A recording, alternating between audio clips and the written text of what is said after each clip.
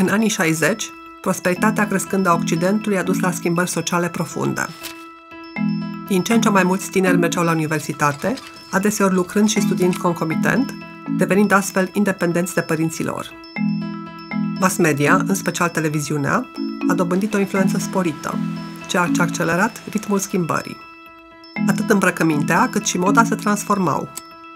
Introducerea pilulelor anticoncepționale a fost un moment definitoriu care a călăuzit revoluția sexuală.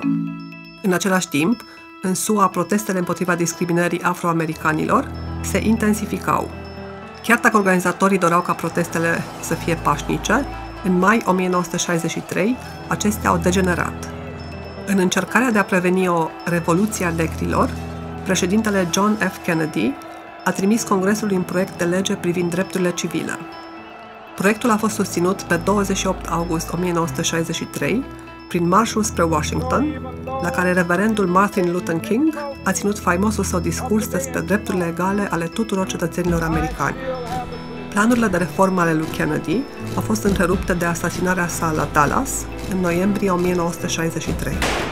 Un an mai târziu, succesorul lui Kennedy, Lyndon B. Johnson, a trecut prin Congres legislația privind drepturile civile, care garanta accesul egal al tuturor cetățenilor la instituțiile publice și interzicea discriminarea pe bază rasiale. Violențele rasiale au continuat însă, culminând cu asasinarea lui Martin Luther King în aprilie 1968. Intervenția armatei americane în Vietnam s-a confruntat cu opoziția crescândă a publicului. În mai 1970, Statele Unite au fost guduite de evenimentele de la Universitatea de Stat din Kent, unde Garda Națională a deschis focul asupra studenților protestatari, patru dintre aceștia decedând. Revoluția hippie a fost expresia protestului generațiilor. Începând cu mijlocul anilor 60, mii de tineri au abandonat școala și s-au alăturat copiilor florilor, al căror slogan era Faceți dragoste, în război. Scriitorii și cântăreții protestatari, ca Angela Davis, Bob Dylan și John Baez, au devenit eroii unei generații. Și în Europa Occidentală a crescut activismul tinerilor. Protestele din Franța și Germania de vest, pe lângă sloganurile antirăzboi și de stânga, au evidențiat, mai mult decât în SUA, nevoia de democratizare a standardelor din universități. Nevoia de reconciliere cu trecutul a fost și ea evidențiată, mai ales în Germania de vest, unde mulți dintre părinții din 1968 colaboraseră cu naziștii.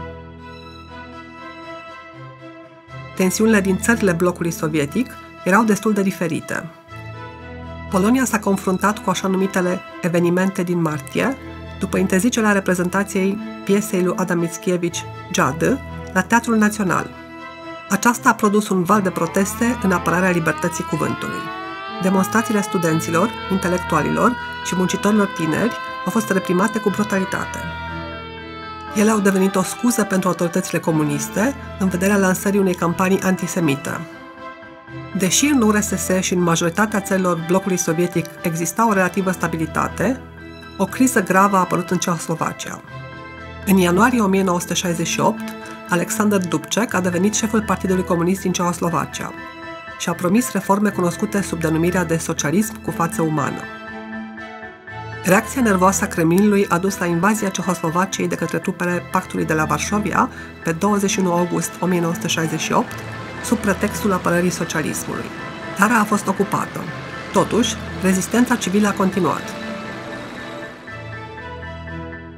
În ianuarie 1969, studentul Ian Palach și-a dat foc la Praga în semn de protest. În luna aprilie a acelui an, evenimentele de după un meci de hockey pe gheață între Cehoslovacia și URSS au degenerat în luptă de stradă la Praga, ceea ce a dus la îndăturarea lui Dubček. Succesorul său, Gustav Husak, a condus eforturile de normalizare a țării.